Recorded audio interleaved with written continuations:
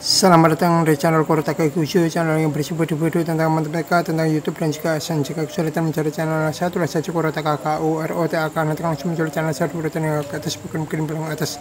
Di video saya yang ke 4337 ini saya akan membahas soal ini ya, soal persamaan eksponen langsung saja kita bahas untuk mengerjakan soal ini kita tuliskan dulu persamaan ini ya. Tuliskan dulu seperti ini. Kemudian karena ini bilangan pokoknya sudah sama semua berarti ini pangkatnya tinggal kita kurangi ya. Karena ini bagi pangkatnya dikurangi bilangan pokoknya ditulis satu saja.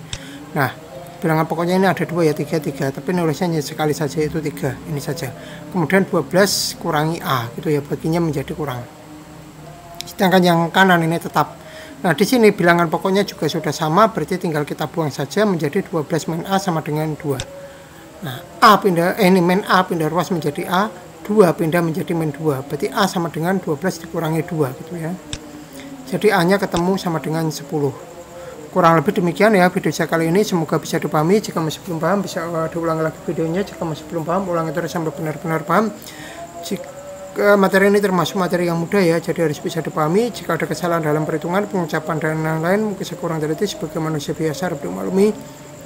Jika mengalami kesulitan di materi ini maupun materi-materi yang lain juga boleh berikan komentar, tanggapan dan juga pertanyaan. Kurang lebih demikian semoga bermanfaat. Jangan lupa like, subscribe, share, bunyikan lonceng, berikan komentar positif sesuai video saya, tonton juga video-video saya yang lain. Jangan komentar spam, jangan komentar pastel, jangan komentar dengan link, jangan komentar minta subscribe, jangan komentar minta dikunjungi.